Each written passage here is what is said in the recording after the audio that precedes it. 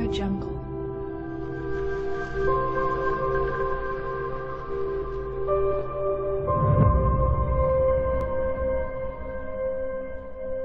Audio Jungle.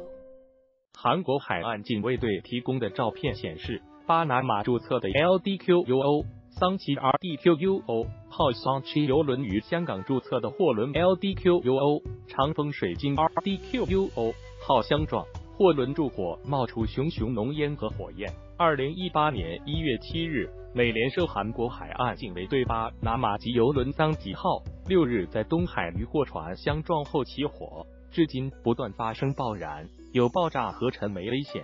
事故中失联的三十一名船员仍下落不明。中方表示将全力做好搜救、灭火、污染防控工作。新华社报道，六日晚间七时五幺分左右，桑奇号 （Sanchi） 与香港集散货船长风水晶号在长江口以东约幺六零海里处发生碰撞，载有十三点六莫吨凝稀油的桑奇号起火，之后持续燃烧，不时发生爆燃。中国救援人员多次接近事故船货，尝试搜救和灭火。但在十十一日作业过程中，桑奇号均发生剧烈爆燃，迫使作业船户后撤。中国交通运输部上海海事局一月十二日在上海召开记者会，公布桑奇号搜救与污染防控最新进展。上海海事局副局长谢群威说，事故发生以来，桑奇号持续燃烧并不断爆燃，船身又轻，受海流、风力影响。向东南漂移。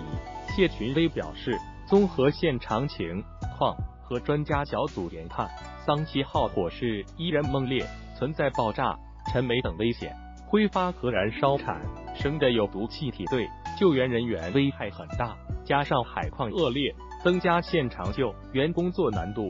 报道指出，桑奇号装载的凝稀油在五小时的挥发量。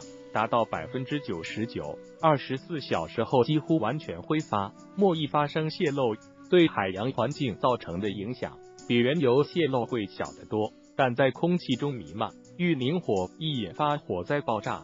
挥发后对大气将造成一定污染。至于伊朗方面，指中方搜救事故中失联的伊朗籍船员不积极。中共外交部发言人陆康下午在例行记者会重申，中国政府高度重视并一直尽最大努力搜救失踪船员。陆康表示，中方已根据伊方申请，以最快速度协助十二名伊朗专业搜救人员抵达上海，并正在安排这些人员尽快参与救援行动。